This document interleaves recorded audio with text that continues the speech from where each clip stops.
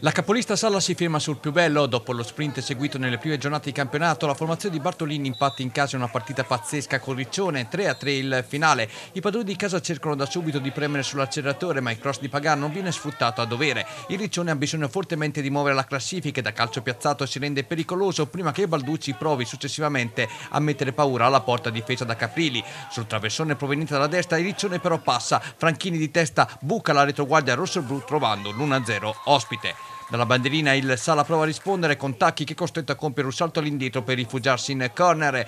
Da punizione Zoffoli mette questo pallone velenoso non sfruttato da nessuno dei propri compagni. Il Riccione prova a rendersi poi pericoloso con questo sterile colpo di testa di Basile terminato al lato. Sul versante opposto il Sala reagisce come trovando i pari, forse con un'azione propiziata da un fallo di mano con Ferraro 1-1 e ristabilita la parità in campo.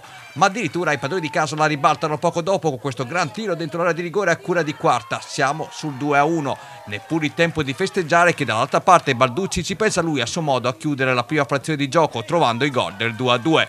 Nella ripresa la capolista bussa alla porta di Tacchi, Calandrini di testa non incide, ma la partita si mostra da categoria superiore, azioni da una parte e dall'altra fino al gol che sembrerebbe mettere tutti o quasi d'accordo.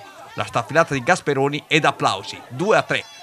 Il Sala cerca a questo punto il pareggio, Magnani ci prova di piede e infine di testa senza trovare gloria personale, ma trovarle invece proprio a fotofinish e Pagliarani. Siamo sul 3-3, partita finita, manca a dirlo. Nei minuti di recupero i portieri sono ancora protagonisti, qui Tacchi sventa la grande tentativo sopra il santo posto, Basile tenta la volée prima che Calandrini di testa chiuda il cerchio. 3-3 in finale e applausi da parte di tutti i presenti.